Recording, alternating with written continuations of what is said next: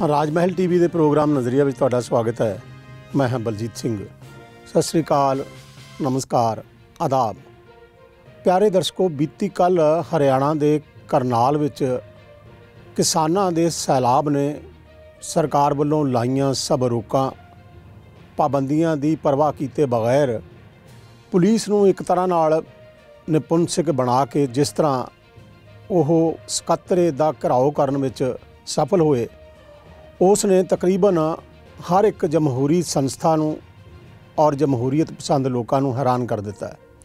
ਇਹਦਾ ਮਤਲਬ ਇਹ ਹੋਇਆ ਕਿ ਕਿਸਾਨਾਂ ਦੀ ਇਸ ਤਵਾਰੀਖੀ ਇਕਜੁੱਟਤਾ ਨੇ ਇਹ ਗੱਲ ਤਾਂ ਪ੍ਰਮਾਣਿਤ ਕਰ ਦਿੱਤੀ ਹੈ ਕਿ ਹੁਣ ਉਹ ਲੋਕ ਜਿਹੜੇ ਕਿਸਾਨਾਂ ਦੇ ਹੱਕਾਂ ਤੇ ਡਾਕੇ ਮਾਰਦੇ ਨੇ ਜਾਂ ਉਹਨਾਂ ਨਾਲ ਬੇਇਨਸਾਫੀਆਂ ਕਰਦੇ ਨੇ, ਉਹਨਾਂ ਦੀ ਖੈਰ ਨਹੀਂ ਹੈ।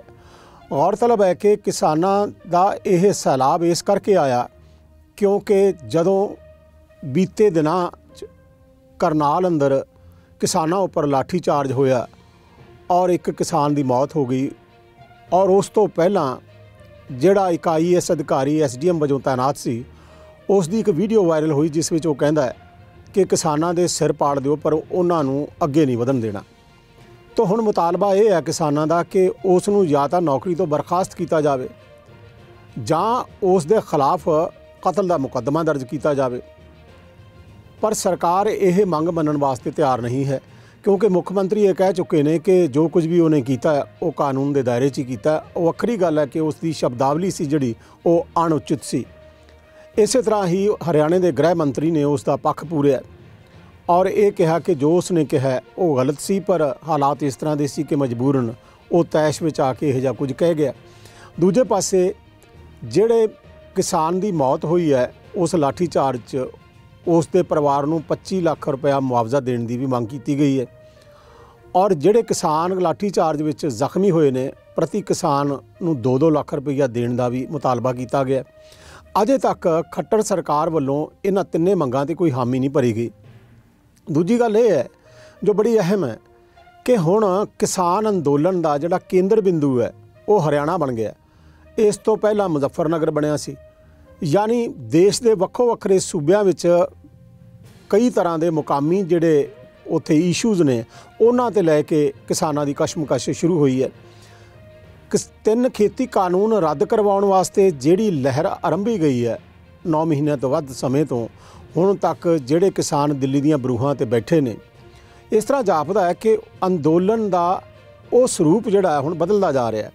ਗੱਲ ਮੁਕਾਮੀ ਮੁੱਦਿਆਂ ਤੇ ਆ ਕੇ ਖਲੋ ਗਈ ਹੈ।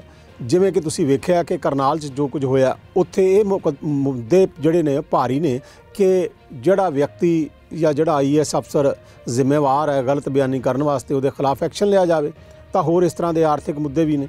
ਪਰ ਇਹ ਮੁੱਦਾ ਸ਼ਾਮਲ ਨਹੀਂ ਕੀਤਾ ਗਿਆ ਕਿ ਤਿੰਨ ਖੇਤੀ ਕਾਨੂੰਨ ਵੀ ਰੱਦ ਕਰੇ ਔਰ ਹਰਿਆਣਾ ਸਰਕਾਰ ਹੈ ਜਿਹੜੀ, ਅਸੀਂ ਉਸ ਦਾ ਘਿਰਾਓ ਕਰਦੇ ਰਹਾਂਗੇ।